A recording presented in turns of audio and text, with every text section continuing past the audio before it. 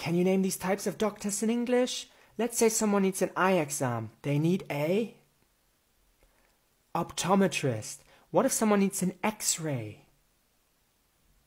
Radiologist. What if someone might have cancer?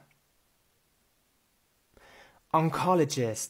And what if a woman is pregnant and needs to give birth? The answer is not gynecologist because they don't deliver babies. The correct answer is obstetrician. Now, the question is